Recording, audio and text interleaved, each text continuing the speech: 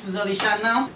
I received a number of emails asking me, can you make a video on how to fly an RC helicopter? And then I received a few more emails asking me, can you tell us what is the best RC helicopter for beginners, someone who just starting with RC helicopters. Well, I had replied those emails, but right now we have a beautiful thing which actually answers all these questions.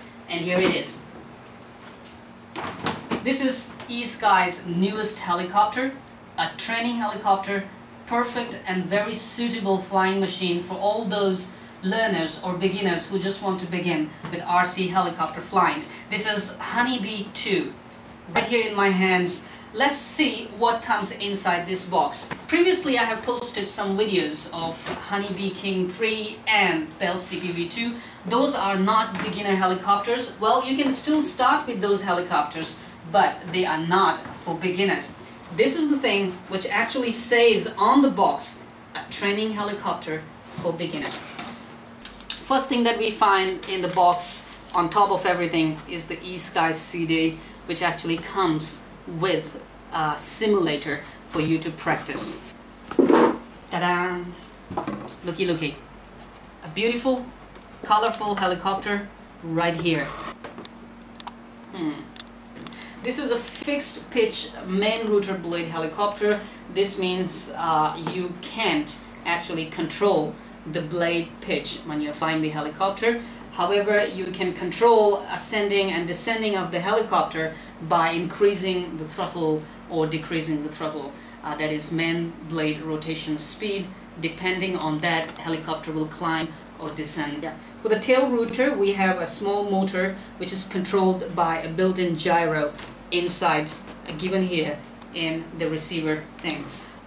Well, digging in the box, we have um, wall outlets putting it here. eSky lithium polymer balance charger. We have a cable to connect the charger to car battery if you want to charge the batteries outside. Here we have a LiPoly 11.1 volt 800 mAh eSky lithium polymer battery we have been given with some uh, sticky double-sided tape and T-zips plus a small hex wrench.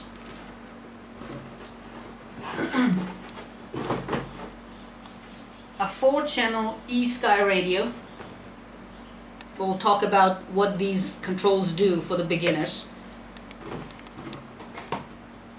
A flight simulator cable, a USB that can be connected to your radio and then you can install the program and practice flying helicopters. And the best thing I like about it it comes with 8 ASI's batteries as well for your radio. Well that's pretty much everything that you actually need in order to fly this helicopter and that is why on box it says 100% ready to fly well putting the box down. Alright, coming in, coming back to the helicopter. First thing, it's beginner helicopter. It says on the box. The function of this helicopter is very simple. I like the color scheme on the canopy here. Beautiful red mixed with uh, splats of yellow color. It's very easy to uh, take off the canopy just pull from here. The motor sits right here, powering up the gear and the main rotor. Um, three servo system, which is real effective in controlling, making helicopter easy to control and very balanced. Plus, we have fixed pitch main rotor blades. They're already balanced, so you don't have to worry about this.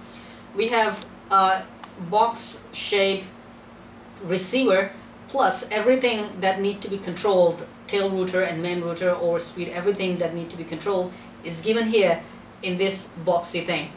Uh, the channel connections are here and if you want to increase or decrease the gyro gain rate you have been given small switches here. Just use a small screwdriver that fits in there.